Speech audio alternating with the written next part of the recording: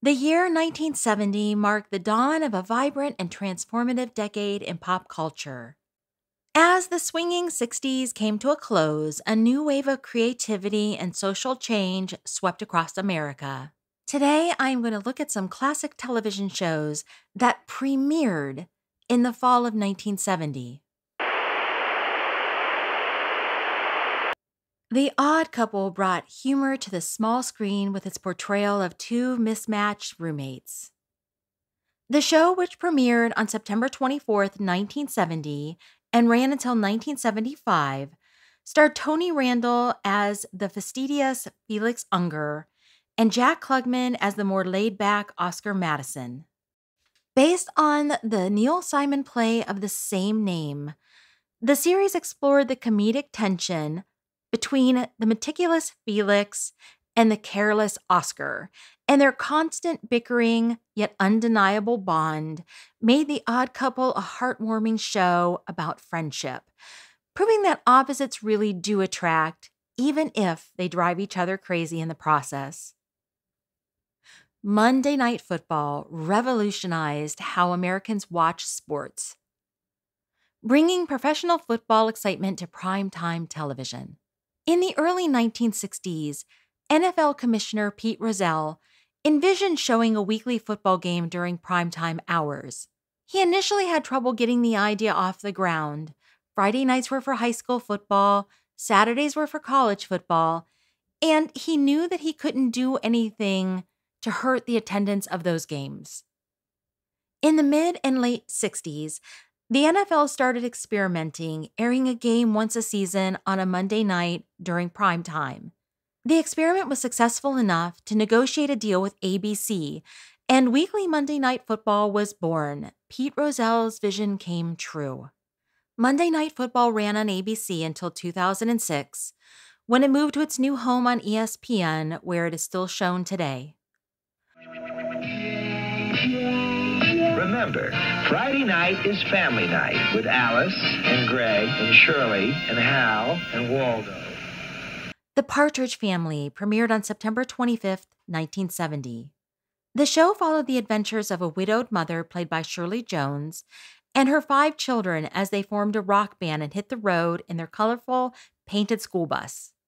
David Cassidy played the eldest kid and heartthrob of the group, Keith Partridge. The beautiful Susan Dey played Lori. Danny Bonaduce was Danny. And the two youngest, Tracy, played by Suzanne Crough, and Chris, played by Jeremy Gelbwaks in the first season, and Brian Forster took over the role starting the second season. Dave Madden's portrayal of Reuben Kincaid, the ever patient and somewhat exasperated band manager, brought a steady dose of humor and order to the family's chaotic musical escapades. The show blended musical performances with the ups and downs of family life. The Partridge family wasn't just about the laughs, it was a cultural phenomenon, capturing the spirit of the era with its catchy tunes and feel good family vibes. The show ran for four seasons before ending in March of 1974. Wake up the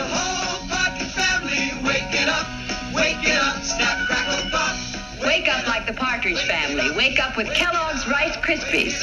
Next up is a show that didn't technically start in 1970. It was a mid season replacement that premiered on January 12, 1971, but I'm including it anyway. All in the Family. It was a groundbreaking sitcom that fearlessly tackled social issues with humor and candor. Created by Norman Lear and based on the British sitcom Till Death Do Us Part, the show revolved around the Bunker family, led by the blunt and often controversial Archie Bunker, played by Carroll O'Connor, his ditzy but kind hearted wife Edith, played by Jean Stapleton, their daughter Gloria, played by Sally Struthers, and her outspoken husband Michael, who Archie regularly calls Meathead, played by Rob Reiner. With its unflinching exploration of topics like racism, gender roles, and class differences, All in the Family challenged viewers to confront their beliefs and biases head on. The show redefined what a sitcom could be and left a lasting impact on American television, proving that comedy could be both entertaining and thought provoking. The show has been ranked as one of the best American television shows ever made. The original chairs Archie and Edith sat in weekly are on display at the Smithsonian's National Museum of American History in Washington, D.C. And All in the Family is one of the most watched television shows of the 1970s. All in the Family ran for nine seasons with 205 episodes.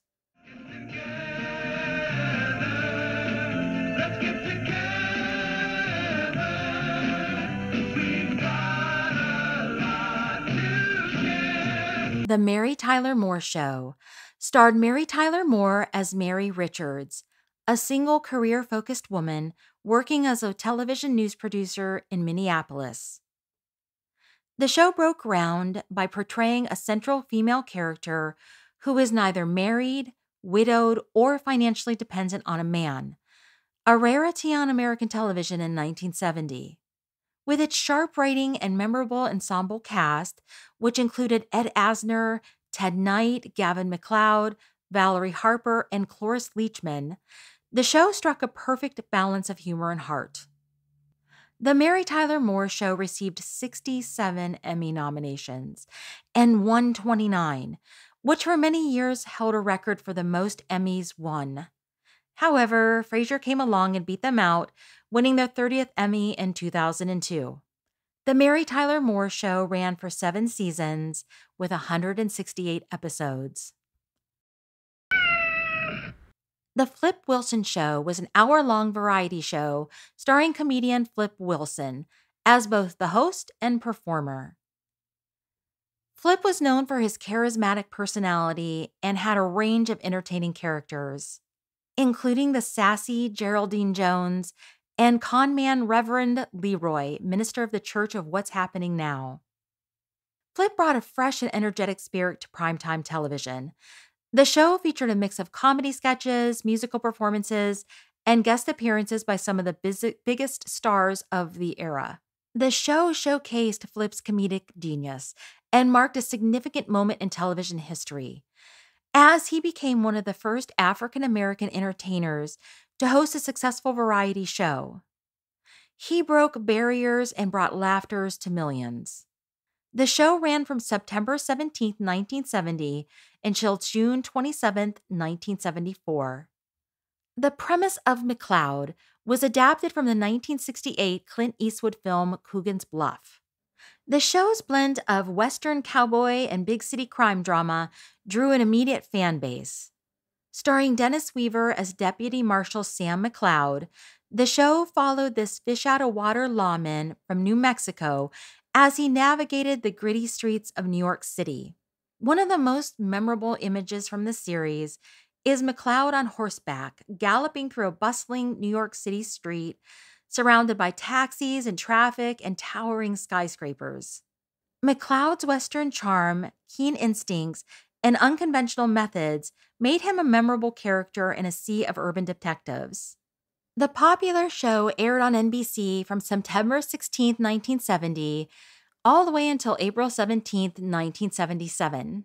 Those are some of the television classics that premiered in the fall of 1970.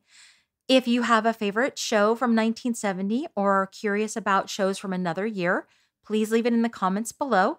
If you enjoy this sort of content, please subscribe and thank you so much for watching.